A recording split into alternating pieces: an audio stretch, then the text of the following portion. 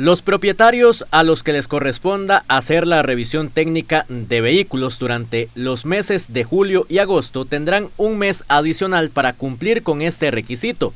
sin ser multados por las autoridades de la Policía de Tránsito. Así lo dispone una nueva resolución firmada por el ministro de Obras Públicas y Transportes, Rodolfo Méndez Mata, en la que se establece que los automotores que deben de acudir en julio tendrán tiempo hasta agosto, mientras que los de agosto tendrán tiempo hasta septiembre.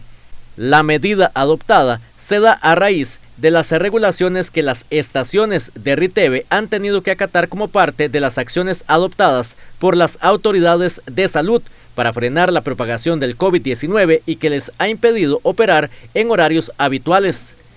Efectivamente, el Ministerio de Obras Públicas y Transportes ha emitido una prórroga para que los vehículos que les corresponde la revisión técnica en el mes de julio puedan hacerlo también durante el mes de agosto y a quienes les corresponde en agosto hacerlo en septiembre sin ser sujetos de una multa en carretera por tener el RITEVE vencido. Está vigente también la prórroga anterior que era para que los vehículos que les correspondía en junio pudieran venir durante el mes de julio sin tener este problema.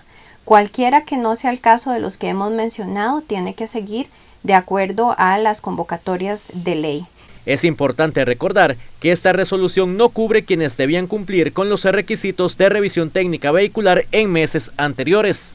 Las autoridades instan a los propietarios de vehículos que deben asistir a la inspección técnica vehicular durante el mes de julio y agosto a no dejar este trámite para el final y que pese al periodo de gracia puedan cumplirlo de manera oportuna.